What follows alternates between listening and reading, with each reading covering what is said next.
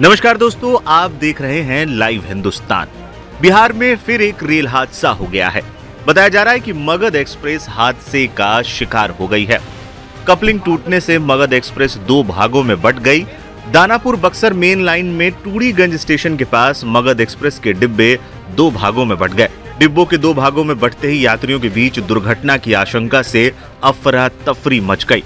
हालाँकि पूरी स्थिति समझने के बाद यात्री सामान्य हुए। लगभग 11 बजे हुई घटना के बाद डाउन लाइन में परिचालन बाधित हुआ है। Down Magadh express Dumraon station से दिन के करीब दस बजकर अंठावन मिनट पर आगे के लिए रवाना हुई थी। जैसे ही टूडीगंज स्टेशन के पास नुआव गुमटी के पास ट्रेन पहुँची, एस सेवन डिब्बे का कपलिंग टूटकर अलग हो गया। एसी के साथ एस सेवन डिब्बा आगे निकल गया, बाकी बचे, बाकी डिब्बे ट्रैक पर रुक गए। इसी दौरान ड्राइवर की नज़र पड़ते ही उसने गाड़ी को रोक दिया।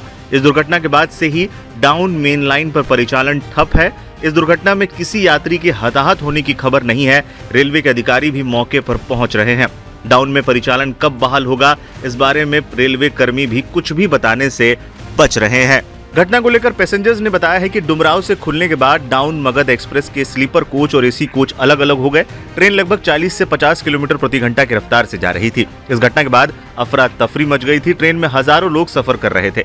सबसे बड़ी राहत की बात ये रही कि किसी प्रकार की कोई क्षति नहीं हुई। ये दुर्घटना डोरीगंज के आगे रेलवे फाटक के पास हुई है।